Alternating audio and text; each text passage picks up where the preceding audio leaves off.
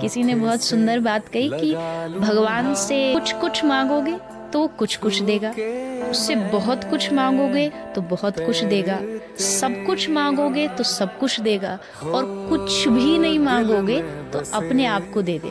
भक्त को भगवान से मांगने की ज़रूरत नहीं।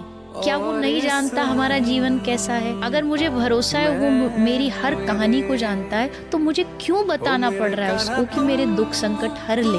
तू अच्छे से जानता है मेरी सिचुएशन तुझे अच्छा लग रहा है मैं इस सिचुएशन में रहूँ मैं भी खुश हूँ।